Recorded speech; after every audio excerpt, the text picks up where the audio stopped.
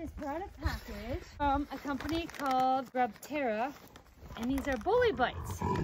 And they want you guys to have them. And I said I would do a review, but instead of me doing a review, let's let them do the review. Ruthie, Samson, and they're freeze-dried. Goliath, Tacoma, Solomon.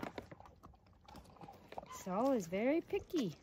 So we will follow Saul and see how he likes it. Esther, David, Look at these guys. They really, really like them.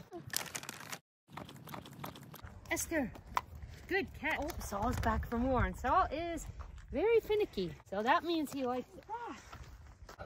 There you go.